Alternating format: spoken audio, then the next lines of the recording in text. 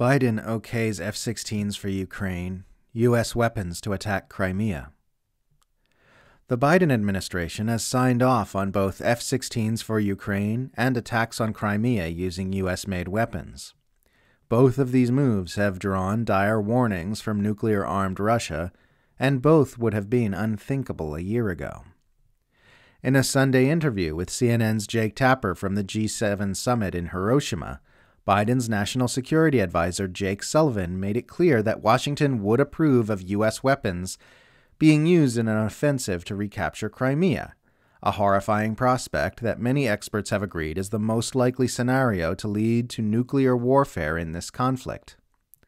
Sullivan told Tapper that while the U.S. has forbidden the use of American weapons to attack Russia, the U.S. considers Crimea to be a part of Ukraine, not Russia. Here's CNN's transcript of the exchange. Quote, Tapper, in February on this show, you would not say whether the U.S. would support Ukrainian efforts to recapture Crimea. That's one of the concerns that has been expressed about whether or not the Ukrainians are being given the ability to hit Russian targets in Crimea. Do you think that Crimea is part of Ukraine? Sullivan, of course. Tapper, so what would be the objection of giving Sullivan? Crimea is Ukraine. Tapper. Right. Sullivan. I mean, that's a very straightforward thing. Tapper. Well, yes, you answered it directly. I mean, Russia doesn't think so, obviously. But do you think that Ukraine should have weapons that can reach Russian targets in Crimea? Sullivan. Yes. We have not placed limitations on Ukraine being able to strike on its territory within its internationally recognized borders. What we have said is that we will not enable Ukraine with U.S. systems, Western systems, to attack Russia, and we believe Crimea is Ukraine. Tapper, okay.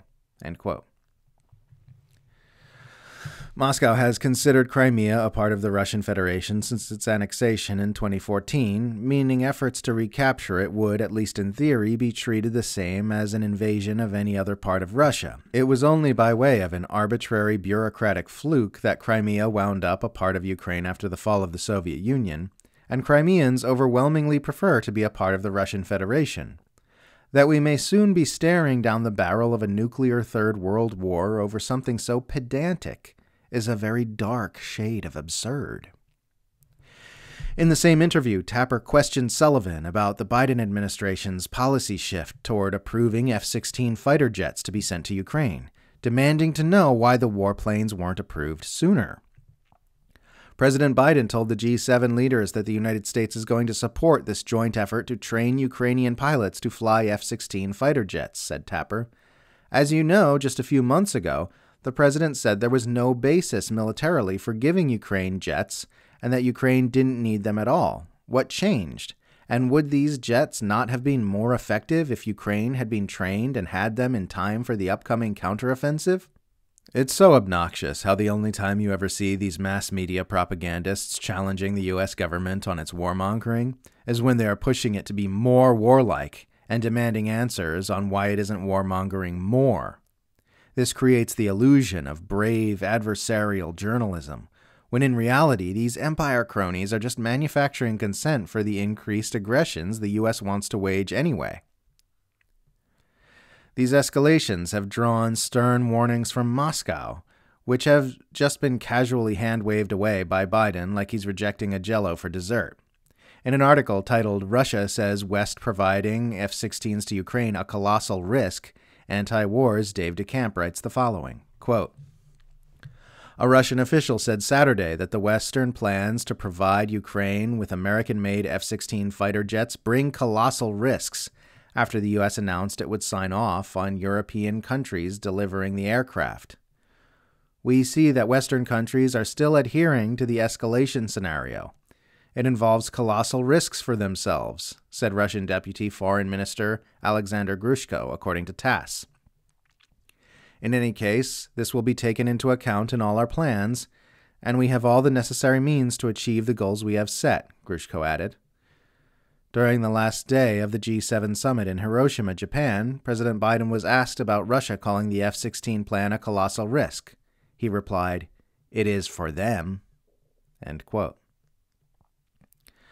As Tapper noted, both the F 16 decision and the Crimea decision mark a sharp policy shift by the Biden administration in just a few months. This proxy war just keeps escalating and escalating, with aggressions once deemed unthinkable due to their likelihood of sparking a nuclear exchange now becoming commonplace. Every time a new, once unthinkable escalation is enacted, the hawks are already pushing for the next one. As we've discussed previously, this pattern of continually escalating nuclear brinkmanship in Ukraine has built in incentives for Russia to ramp up its own aggressions against NATO itself.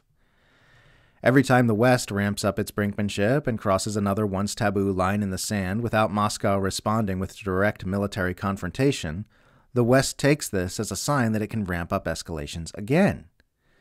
This has put things on a trajectory toward more and more direct Western backed attacks on the Russian Federation unless Russia lashes out at NATO powers in some way to show them that it's not worth it, which would be about as dangerous an occurrence as you could possibly imagine. It is not okay for our rulers to play games with our lives like this. It is not okay for them to keep rolling the dice on nuclear escalation more and more often in the name of securing U.S. unipolar hegemony. These people are making it abundantly clear that sanity and level headedness are not in the driver's seat here.